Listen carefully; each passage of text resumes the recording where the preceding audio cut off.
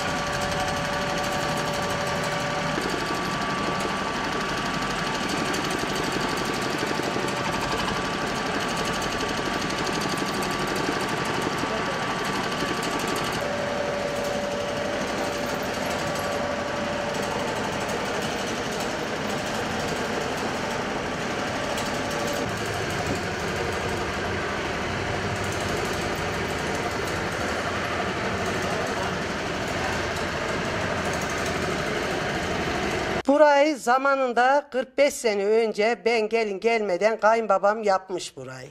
Ondan sonra amcalarım işletti. Ondan sonra bize geldi. Bize gelince eşimin işi ağrıdı. Eşim bu değermeni bana belletti sağ olsun. Allah işini rast getirsin. Ben de ona oldukça destek oldum.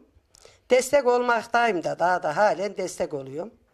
Öyle beraber bu işi işlediyor buraları götürüyor işte. Burada ne yapıyorum? Bulgur uğuduyorum önce. Ondan sonra yarma uğuduyorum. Ondan sonra kavut yapıyorum. Böyle milleti işini yapmaya çalışıyorum. Gelen giden çok oluyor mu? Çok oluyor. Eskiden daha daha çoğdu. Şimdi o kadar kalmadı ama yine de e, yapmaya çalışıyor. Bilene kolay. Bilmeyene zor tabii ki. Ne zamandan 30 senedir ki bu işi daha ileride. Daha 30 sene diyeyim. 30 senedir ki bu işi yapıyorum ben hep. Hiç bırakmayı düşündün mü? Yok hiç de düşünmedim. Kadınlarımız Yok var mı? öyle bir şey yok. İlk ilk kadın değermenci kadın benim. Hanımla ben yalnızdım. İşimiz çok yoğundu. O zaman çocuklar e, okuldalardı. Lise okuttum çocuklarıma. Ondan sonra üniversiteyi okuttum. Biz koşuşturduk. Baktım işi ben tek başıma yapamıyorum. İşi paylaştık. Hanıma dedim esas değermen işi hanımların işi. Çünkü bulgur işi falan. O sürekli hanımlara muhatap olduğu için. Ben bu işi ona öğretmeye çalıştım. E, Öğrendi de yani sağ olsun. Hemen çabuk da şıpşak kaptı. Hanımlar da bunun yaptığı işte memnun oldular. Çevredeki bayiler geldiler. Bundan da çok güzel diyalogları var. Öğrendi. Memnunlar da, memnun da kaldılar. 30 yıldır yapıyor sağ olsun.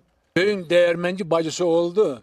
Çevrede falan da yani seviyorlar. Dön, bu bazen nöbetçi dışarıdan geldi miydi? Buraya ben geliyorum bulguru daşı ben açıyorum. Yok döndü gelsin diyorlar. Bunun işten de memnunlar. Ev ekonomisine katkıda bulundu. Çevrede iyi kötü bir döndü hanım dediler miydi? Ee, sevgi, saygınlığı da var. Allah razı olsun.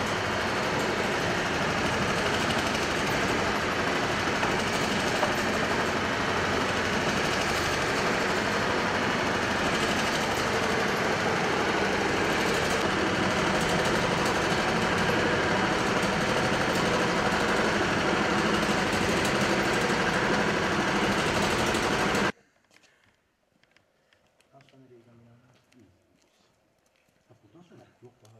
Genel...